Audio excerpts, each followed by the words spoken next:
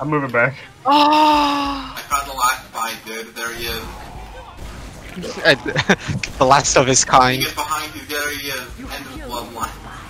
Oh wow, you really gonna leave the money like that there? Really I leave it? figured you'd pick it up. You were right behind me, bro. He was fucking casually- He leaves the money here, he just left it.